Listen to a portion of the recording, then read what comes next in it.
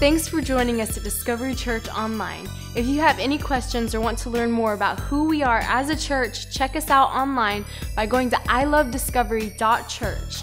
You can stay connected anywhere you go with our Discovery Church app. It's free from wherever you download your apps from. Today, we start a brand new message series called Ghost of Christmas Past. For many people, the most wonderful time of the year isn't so wonderful. Painful past or our own insecurities can haunt us and can overshadow the joy we're supposed to be feeling during Christmas. Today, our senior pastor, Jason Hanash, will be helping us learn how we can be healed and how we can overcome our ghost of Christmas past.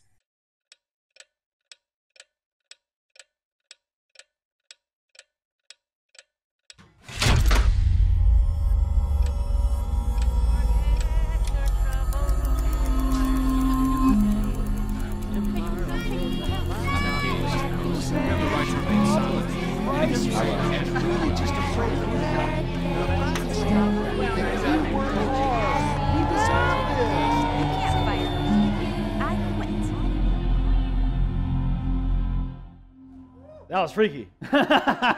Amen. No, so glad you guys are here. Welcome to Discovery Church, man. We're beginning this brand new series called Ghosts of Christmas Past. How many of you are like me when it's like Thanksgiving is over, or maybe when December first hits, you start to like um, dive into all of the Christmas classic movies? Anyone out there like me love Christmas? All the Christmas classics. Am I the only Christmas buff here? How many like a, like a few of us? Okay, a few. Yeah, I mean, you got to watch all the. And this one comes from the title here comes from a Christmas Carol, and so this is a play on this like Ghost of Christmas Past. What I believe God wants to do in this series, you guys, is finally deal with some of these things that we've allowed to haunt us in our past, and that in this season here of Christmas time is supposed to be the most wonderful time of the year for very many people. I've had my calendar gets full of people who are hurting during the season. And the suicide rate is statistically true. Suicide rates are more in December than in all other months combined. Um, there's more suicides. And that's just because people are, they're not experiencing more problems and more issues. They're just feeling it more. It's, it's they're being haunted by their past. And uh, I was thinking about this as a kid. You know, we, my, I grew up with older siblings. I'm the second youngest of seven. And so they would often show me movies that I wasn't supposed to necessarily watch before it was my turn or time or season to watch it. And so they were showing me things like, you know, Halloween and, you know, with Michael Myers and, and Friday the 13th and these kind of things, which uh, you watch them now and you're like, this is so cheesy, right? You laugh at the stuff now. It's like this is so weird. It's it's but but then it was scary as man. It's and I remember having like sleepless nights. How many of you ever did, like like watched a movie you shouldn't have watched too early as a kid, and you're in bed and the lights are all off, and and you start imagining things, right? Like your mind is playing tricks on you. Like you're you're developing silhouettes. Like someone's there in my room or something, and you just start seeing things. And and as a kid, I ain't getting up and looking at. It. I'm not investigating anything. I'm putting that cover over them, and I just just you know fall asleep afraid. Um, as an adult, though, it's maybe not like ghosts and apparitions and things, but but still there's there's there's a little bit of that that fear. My wife, she's so funny. Like she's a light sleeper. Any little noise. You know, a little cat walking on the fence out in the backyard or something. Jason, did you hear that? I'm like, and it takes me a while to get me up. She's like shaking me and stuff, slapping me, and I'm like a rock. Unless, unless the alarm goes off, I go into like protective mode or something. But other than that, I am out. So she's shaking me up and like, what's Jason? You know, is I, what? What? Did you hear that? What? You hear what? I don't, I don't hear nothing. Someone, someone's in the living room, right? I think. Hey, how many? Am I only the only one? Husbands, husbands, your wives. You know, someone. I think someone's there. I think someone's outside. Or uh, go check, go check. And I gotta, I gotta get up, and I gotta, I gotta go check. And and every time, turn on the light. What happens? Nothing's there. I haven't caught the ghost yet. I haven't caught or the burglar or nothing every time. Every, there's just nothing's there. What I believe God, look, I, I, what I believe is happening is that we are haunted by our past and, and we are like kids hiding in our bed and we're covering up the blankets and we're, we're laying there in fear with shame and regret and in guilt and, and, and god is going and this is what god wants to do in this series and today he wants to begin something new in your life he's saying there's nothing there Like you're afraid it's not real, it's not a reality. That can't hurt you anymore. What you need to do is just get up, get up, go turn on the lights. Go shine some light, you'll see nothing, nothing is there. Um, well, I'm going to dig into a person today in the Bible, a person of the Bible named Jeremiah. Jeremiah was a prophet. Yeah, yeah. I thought someone was going to do it. No? Tell it. No veggie tales here? Okay. Well, Jeremiah was a, he was a prophet and and he he he basically has as a prophet, he spoke on behalf of God. Like God would he would hear from God and then speak to the people uh, what God shared. But but in Jeremiah, what was going on was God was he was hearing the message of God, but but he really in his heart had a hard time believing it himself. And so he struggled with that. He's, he actually wrote this entire book called Lamentations. The entire book is a lament. It is a, a just a like a crying out, a complaint letter to God where, where he's going, God, I hear you. You're like, you're that you're you're good and you're gonna do good things, but God, I have a hard time believing it. I have a hard time experiencing joy in this. Because, and so let's pick it up right there in Lamentations chapter 3. Let's hear some of Jeremiah's lament. He says, I want you to notice right away the first two words. He says, I remember. He says, God, that's why I've written this whole book and prophecies and these wonderful things, and you're going to rescue God's people. We're going to talk about one of the verses. Jeremiah is popular, and you know this verse where God says he wants to give you hope and a future. I mean, Jeremiah is going, Look, I know, God, that you, you're going to rescue your people. You're going to give them hope and a future, and you're awesome. But the truth is, God, I remember that that didn't really work out the way that I thought it was. I, I, what I remember, God, is not hope, but I remember my affliction, he says. I remember my wanderings. I remember the bitterness and the gall. I'm not really happy, God. And then goes on to say, I well remember them. Like, like I, I, I, it's still fresh in my mind, like it just happened yesterday. I remember them well, and my soul is depressed. I, I'm depressed about it. I'm downcast on the inside. God, every time I think about my past, I just it's kind of it's kind of hard for me to believe, God, and experience the joy that I'm supposed to be experiencing. So this message today is dedicated to everyone who would say, "Jason, I love the messages. I just have a hard time believing it because I remember too much. I remember too much of, of what has happened. And, and I want you to write down three things today that Jeremiah remembered from his past. I'm calling them the ghosts from your past. I think there are three things that you can probably identify with, that you can kind of relate to Jeremiah, these three things. He used three different words. The first word he used, where he said, I remember, he said, I remember my affliction is what he said. I remember my affliction. Now, before you write it down, I want you to know about this word called aff- affliction.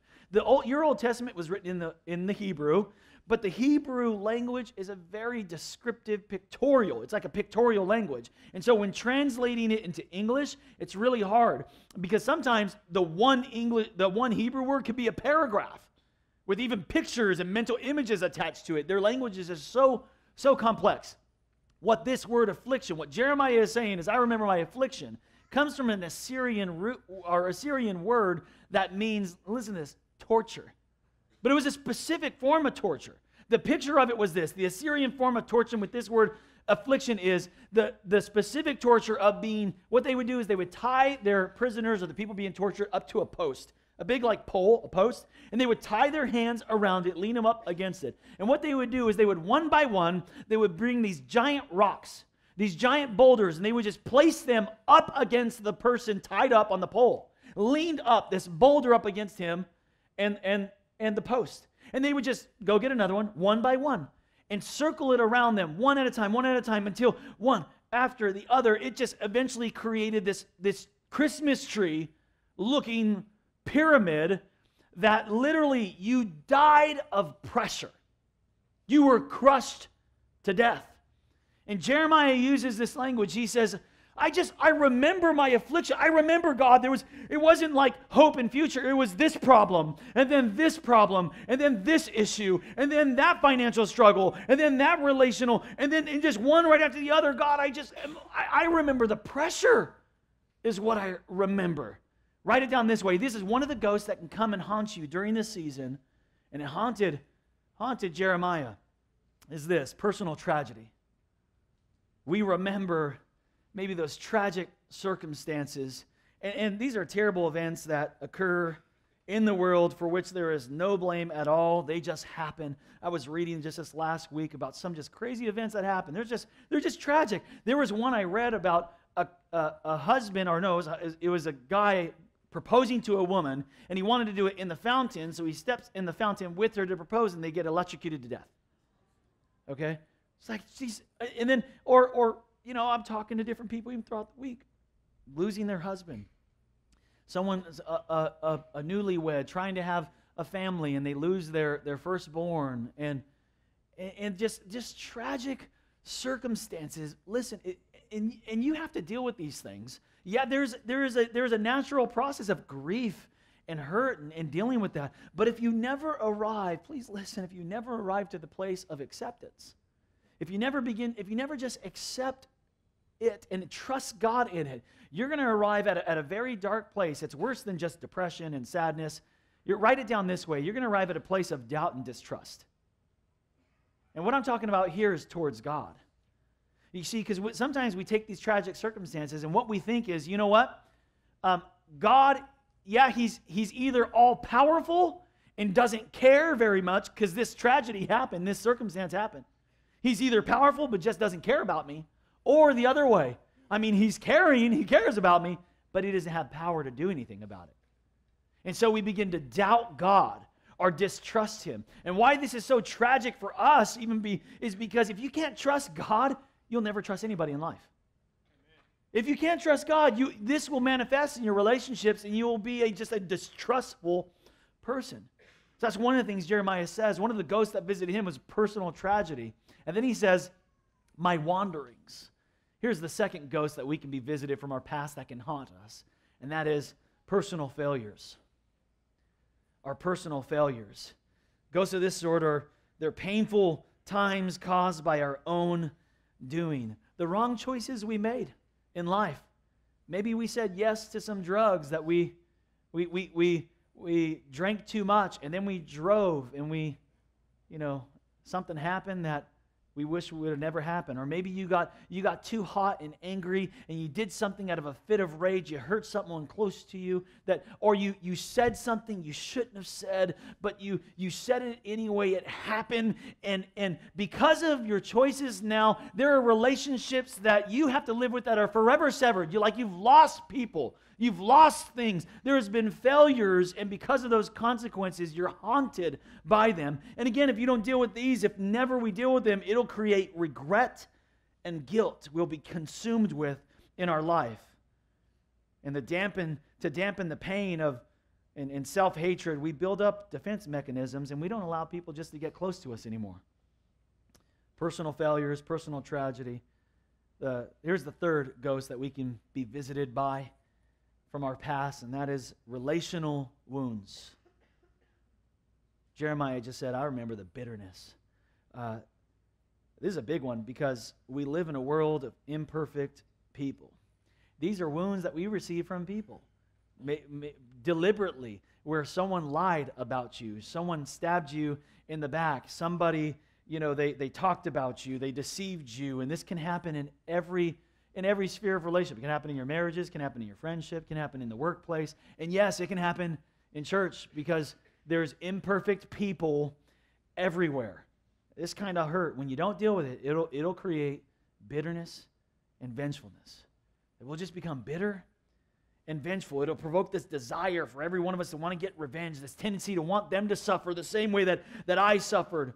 And these types of relational wounds can hurt us deeply. And if, and if left unresolved, it can manifest itself in unexpected ways at unexpected times. But you need to understand something today. Please listen, you guys. When, when you hold on to your history, you do it at the expense of your destiny. Are you hearing me today, guys? Okay? When you, when you hold on to your history, when you don't deal with those things properly, you do it at the expense of your destiny. So, what do we do with this? What do we do when we're visited by the ghosts of our past? You got about four choices, is what I've kind of narrowed it down to. You got about four choices, four responses of how you're going to deal with your past, and you deal with them probably in one of these four ways. Write them down. What do we do with our past? Number the first way that a lot of us try to do is we try to bury it. We just try to bury that thing. Just try to you just you know get it out of sight, get it out of mind, sweep it under the rug. Uh, you can wreck your future by running from your past. You know that? You can wreck it. You can totally. And some of you might be letting a dark past ruin a bright future.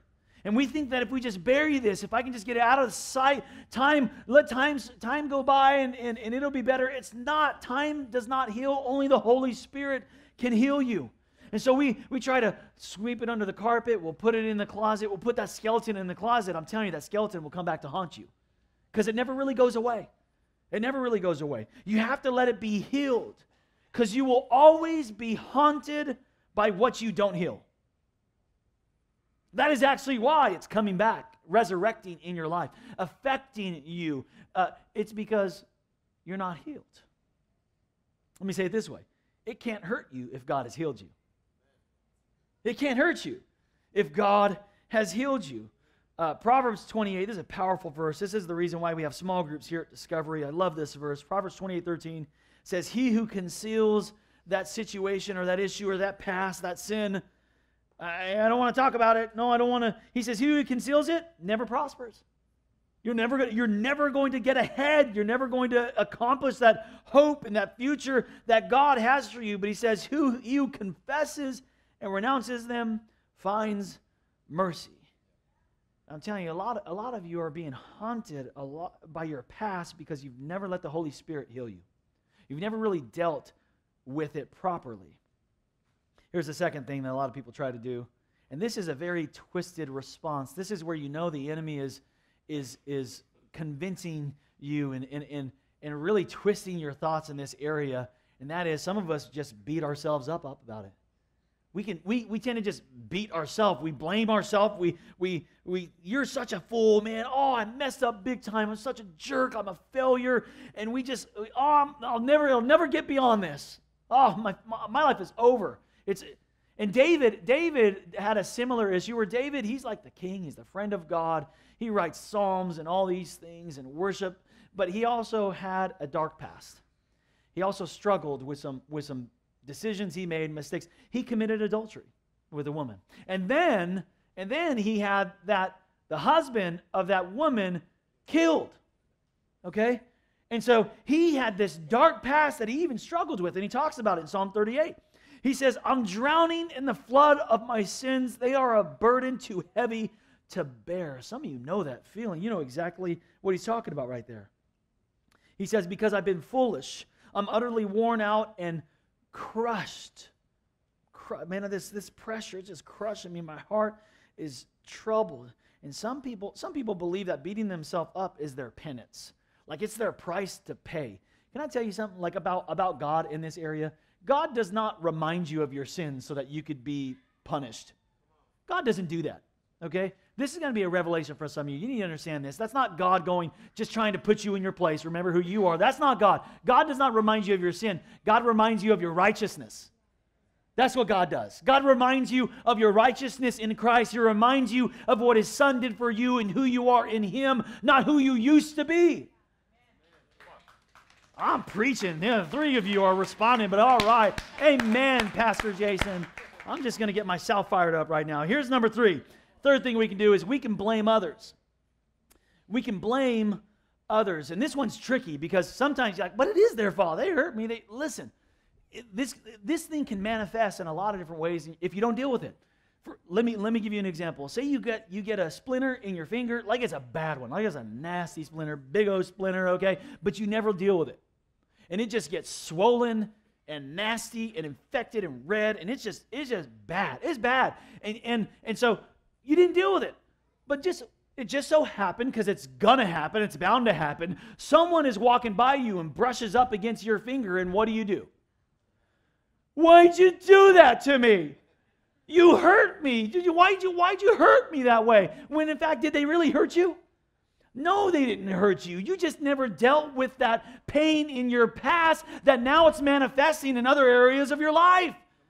And you're shifting blame over here like, oh, uh, this their fault, it's their fault. You hurt me, and you're taking offense all over the place, and you can't forgive people. You're bitter, you're bitter. Where is it coming from? It's not their fault. You just never dealt with the issue. And you start blaming others for your problems and for the pain.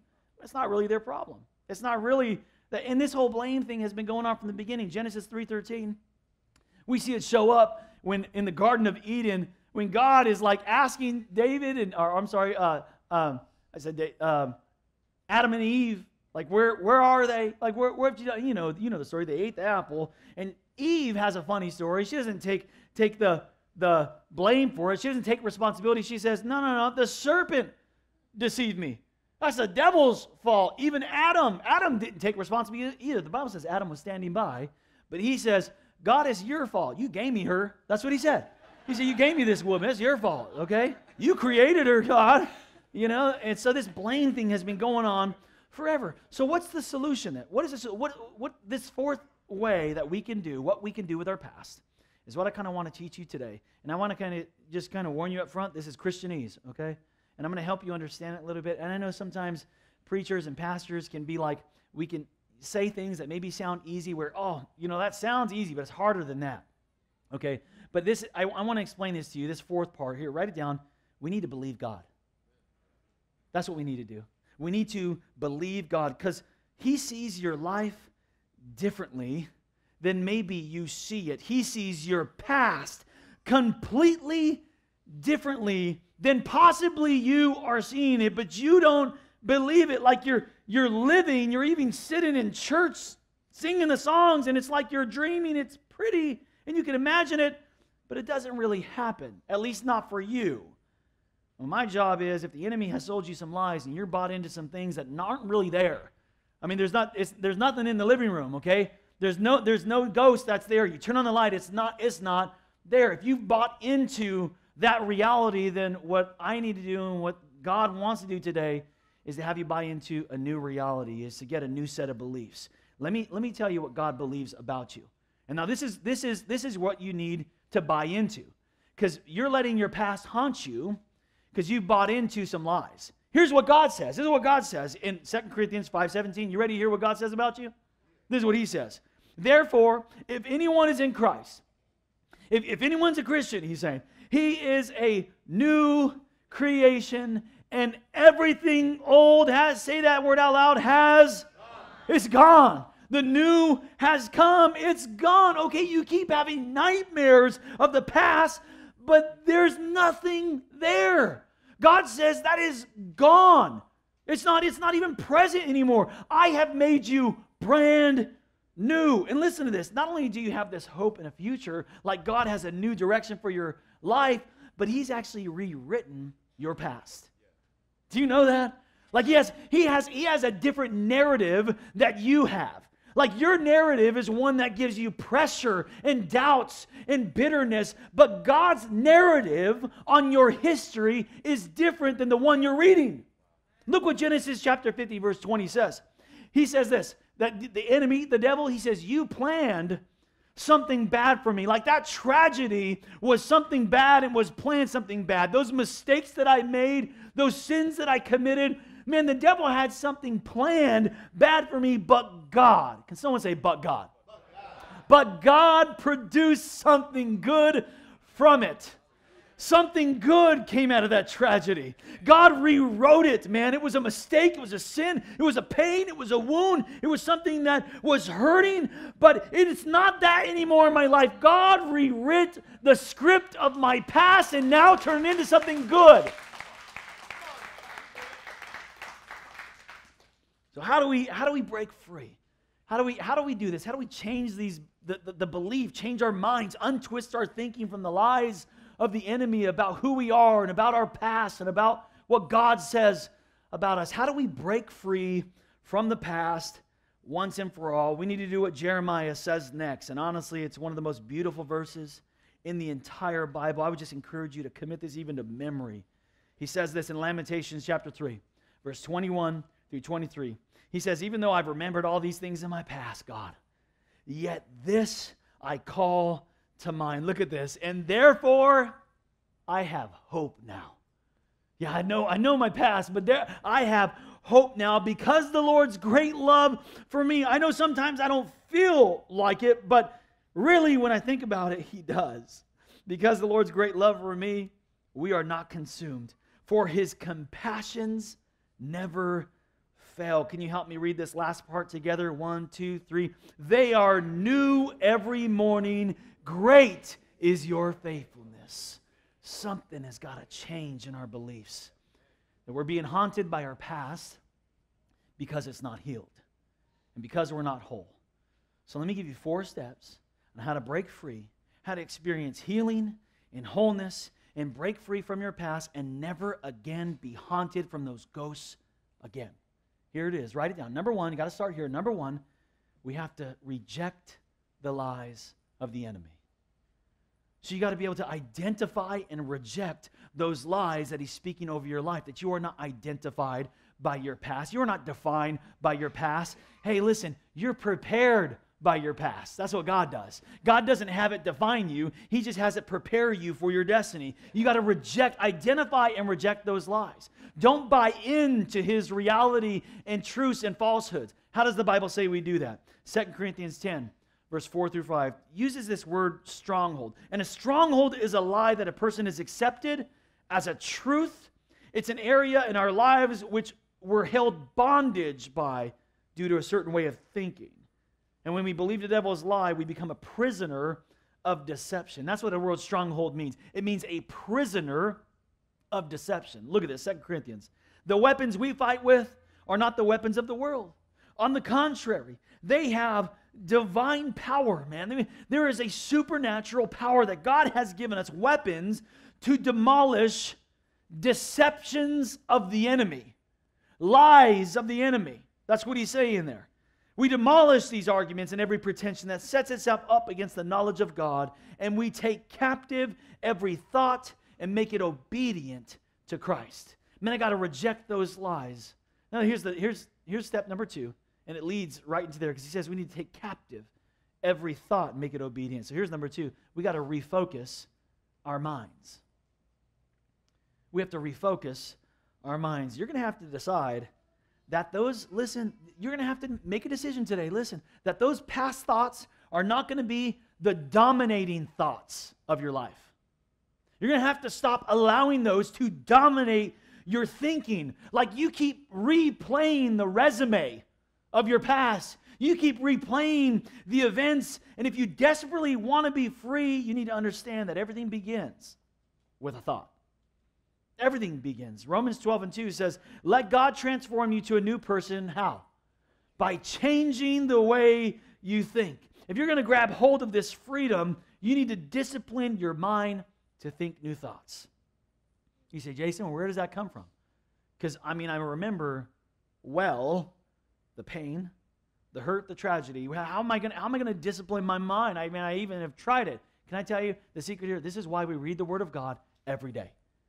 That's why we read the Word and meditate on the Word of God every day to get God's thoughts in. Listen, in, in, in, Bible reading, we don't read the Bible every day to finish our chapter, to click that button and do my devotion, or, or to read through the Bible in a year. That's not the why of reading your Bible. Let me give you the real why. This should be your why of why you read the Bible to grab hold of the Spirit of God, to grab hold of the truth of just one truth and to hold on to that truth and to make it your dominating thought all day.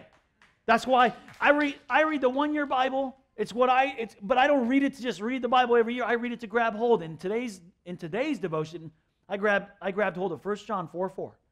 And he says, You're an overcomer. You've already overcome, he said. Because because greater is he that is in you than the one who's in the world. And I just been holding on to this thought, and I've been even praying about it. I said, God, the spirit that you've given me, the spirit that you've given your church is greater than he that's in the world. It's greater than their past, it's greater than their problems, it's greater than their pains and their mistakes and their failures. Greater is you that's in us than he that's in the world. And you grab hold of what would your life look like if you just grabbed one God thought a day? Just one fresh God thought, and you let that dominate your thinking all day, you know what happened? You'd have a renewed mind. You'd have, you'd have a renewed mind. In, in Ephesians chapter 4, verse 18, says that this is the reason why many people are far away from God. Many are far away from the life God of God because they shut their minds against Him. You say, man, I try. I go to church. I try. I try. Well, the reason why God feels maybe so far away is because He's not the dominating thought. We shut our minds against God, and they can't understand His ways. I'm telling you, if I can convince you one thing today is to, to, to get into your word and buy into the truth of God's word. It's, I'm telling you, it's trustworthy. God is worthy of your trust. His word is worthy of your trust, and let it dominate your thinking. I woke up early this morning. I just prayed this verse for you. I put it in your notes already. Ephesians 3:18. This has been on my thoughts all day, all morning.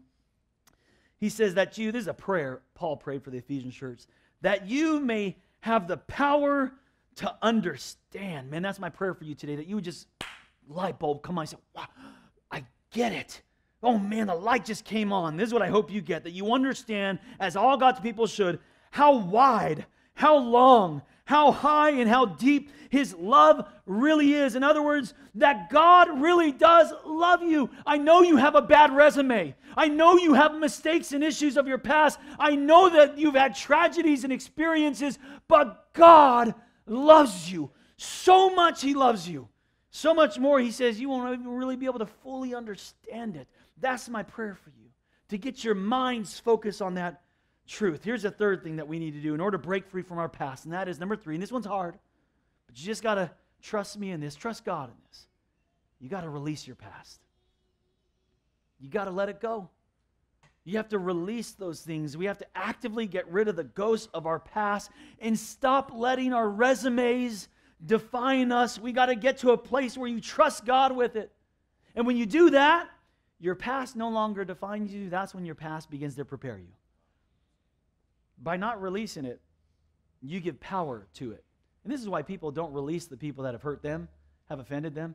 Because somehow we've been convinced, and this is the enemy now, has convinced us, that by forgiving, somehow I'm giving power away. That I'm putting power in their hands now. And that's a lie. That's not what the Bible says. That's not what God says. That is not the truth. By not releasing them, you are giving the power to that person, to the hurt, to the circumstance. Listen, forgiveness is self empowerment. Forgiveness empowers self. When you hold on to bitterness, you keep the power away from you. So when you release the past, what that is doing is taking the power back. It's taking the power back in your life. You got to release those things. Isaiah says it this way Forget the former things, don't dwell on the past. I mean, you got to understand this miracle. Did you know that God just doesn't forgive you? Um, like, He didn't just come, Jesus didn't come just to, you know, take your problems and forgive you for it. Like, well, there, there they are, but you're forgiven. I mean, they're right there, but, but, but you're forgiven. That's not what He does. He came to do something greater. He came not only to forgive you, but to cleanse you from them to remove the stain, the shame, the guilt, to make your life like it never happened. He came to set you free, to redeem you, to release you. And that's what the Bible says in Psalm 103. He says, He does not treat us as our sins deserve. Aren't you glad for that? That God doesn't treat, give us what we deserve or repay us according to our iniquities, but instead, as far as the east is from the west, so far He has removed our transgressions from, uh, from. In one place, it says that He remembers them no more. You know what that means? That's a complete do over. You get a fresh start. You're hiding in your bed full of shame, fear, and regret, and God is going, It's not there. There's nothing haunting you. It's gone. I removed it. If you just would buy into my truth of what I see about you. I love how Micah says it. Micah 7, verse 18. We sang about this verse this morning. You'll see it in here. He says, who is God like you? Man, God, there's no one like you who pardons sins and forgives the transgressions of your people. You don't stay angry forever, but you delight to show mercy. I mean, it, you, he delights to let you off the hook. He delights to wash away your sin. He delights, He enjoys taking your shame, your guilt, your mistakes, your pains, and your past and going, it's gone. I don't see it anymore. It's not a part of you anymore. It's not, it's, you don't have to carry it anymore. It doesn't have to haunt you anymore. That's the kind of God you serve, that He enjoys letting us off the hook of even the things that we've done to ourselves. So you want to be free? You want to break free from your past? You got to reject the lies of the enemy. That's number one. Secondly, you have to change the way we think. We're going to receive this great forgiveness. Then there's got to be this release, thirdly, of our past. Then God wants to do this brand new work. He wants to take you to a new place. Write it down like this He wants to renew your heart. He wants to renew it. He wants to do something new inside of your heart. And some of you, look, some of you, sometimes we think of this, you, you have a picture of a heart, right? And this, you ever seen the heart and it has that little band aid on it? Yeah? It's like, oh, I've been, God has healed me. God, that's not the picture of God. God says He wants to give you a new heart. He doesn't want to bandage it and patch you up. And no, no, no. That's not what the Bible says. Ezekiel 36, 26, he says it this way I will give you a new heart. I'm not going to let that thing be wounded. I'm not going to let the past and your regrets and your shames cloud that thing and for you to have to build protective walls around it because of your past. No, no, no. I want to give you a new heart and I'm going to put a new spirit in you. And I'll remove all of your past, all the stuff that hardened your heart, all the hurt, all those mistakes. I'll remove that heart of stone, he said. I not only want to give you a new heart, but I'll take your past, your shame, your regret, I'll take it away. If I'm going to make you, he says, a brand new person. Let's do that together. Come on, all across the worship center. Let's bow our heads. God wants to do something new in your life, in your heart today. Some of you here today, you need this. You're being haunted by your past. And, and for some reason, in this season, it kind of just comes up more. Some of you have experienced some tragedies that no one should have to experience. No one should have to feel what you felt, go through what you went through. And I'm not making uh, any excuses about it. It was wrong and it hurt. But because maybe you haven't dealt with it and let God heal it, it's still hurting you today and it's filling you with doubt and distrust. Or maybe you're here today and it's your own personal failures, mistakes you've made, sins you've committed. That, that, yeah, God has forgiven you, and you hear the Bible and you hear the message, and it's like, yeah, that's a great message, but you're having a hard problem letting yourself off the hook of buying into God's word and how He sees you and your mistakes in your past. And so you're filled with, with just this, this bitterness. Or maybe you're here today and you have this relational wounds. You've been hurt and you've never dealt with them, truly never received healing. And instead of burying it and beating yourself up and blaming others, today, in Jesus' name, I declare right now, come on, church, I declare, God, that we are putting our trust in you, that we are going to believe what you say about us, God.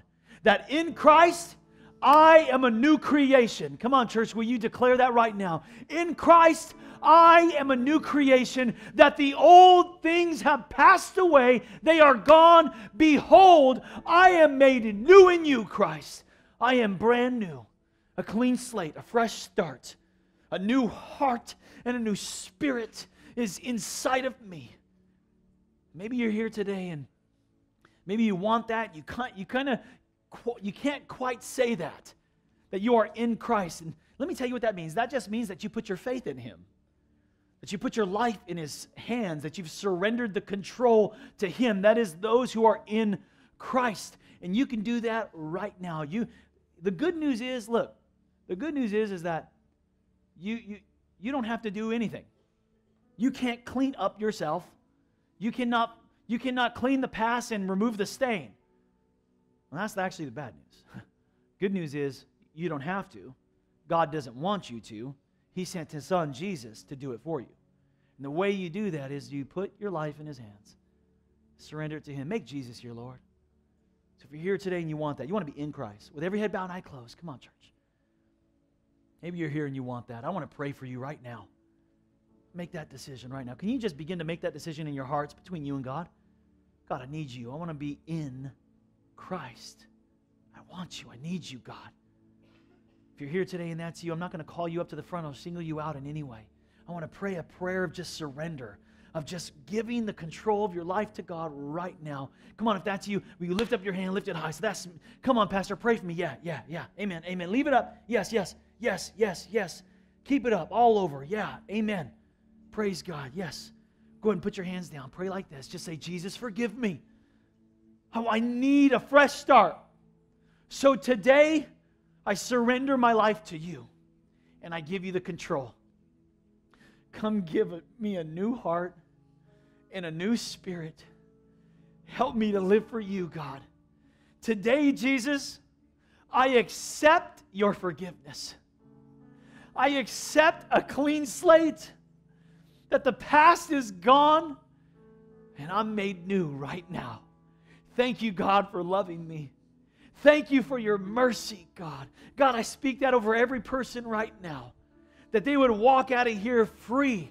That those the bondage and the stronghold and the deception of the enemy broken in Jesus' name. That the past cannot haunt us anymore, but we are going to be free and free indeed. Thank you, God, for your work in our life. In Jesus' name, amen. Amen. Come on, give God some praise if you receive that today. Amen. We are so thankful for all God is doing in and through your life, and we would love to continue helping you on your journey. To find out what your next steps are in your relationship with Christ, go to ilovediscovery.church forward slash next dash steps. At Discovery Church, it's our mission to teach people to love God passionately, love each other authentically, and change the world for the cause of Christ. And that mission drives everything we do as a church. Join us next week for part two of Ghost of Christmas Past.